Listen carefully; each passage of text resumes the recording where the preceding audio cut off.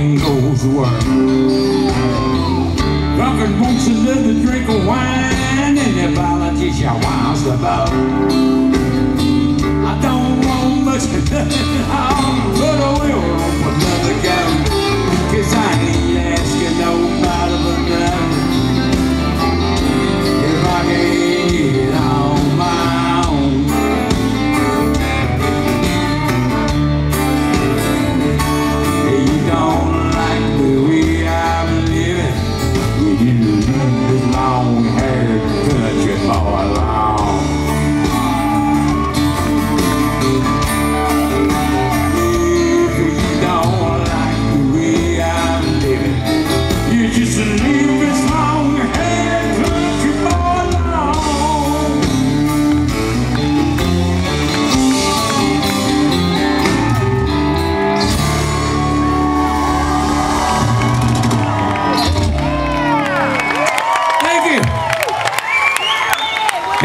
1967, when I first went to Nashville, I was just another young man with a guitar. Showed up in town trying to make it into business. It's a tough, competitive town. It was then, it is now.